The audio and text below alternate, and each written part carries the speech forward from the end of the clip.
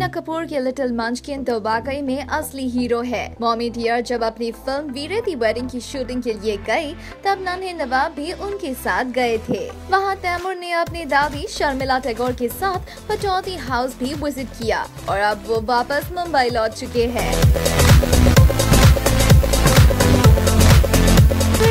उनका नवाबी अंदाज खत्म नहीं हुआ।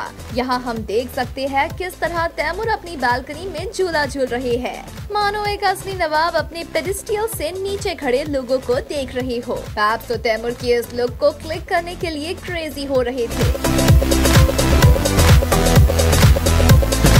वाकई में इस पिक्चर में तैमूर का स्वैग साफ़ नज़र आ रहा है और ये देखकर हमें यकीन है कि तैमूर हर तरह से स्टार मटेरियल है आपको क्या लगता है इस बारे में हमें ज़रूर बताएँ।